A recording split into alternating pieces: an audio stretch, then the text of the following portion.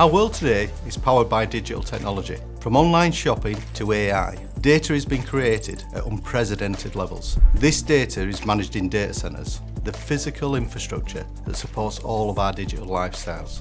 Airedale plays a pivotal role in supplying precision cooling solutions to these giant data warehouses.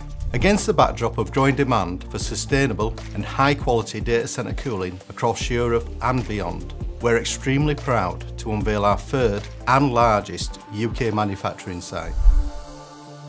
Spanning 14.6 acres in Bradford, West Yorkshire, this facility will specialise in the manufacturing and testing of precision air conditioning equipment, such as computer room air handlers and fan walls.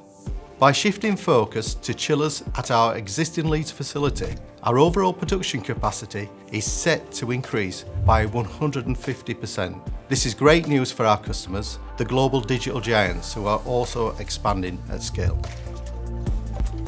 Investments in this site will include a cutting-edge 2 megawatt test centre, expanding on our already world-renowned testing capabilities in Leeds, supporting new research and development innovation and client witness tests.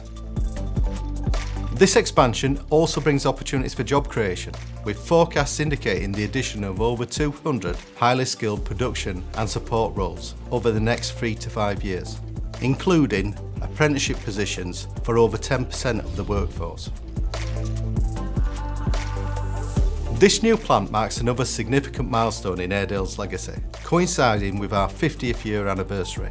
I am extremely proud to lead this business forward, building upon the boldness and innovation instilled by our founders back in 1974. Together, we are shaping the future of data centre cooling, ensuring sustainable solutions for the digital age.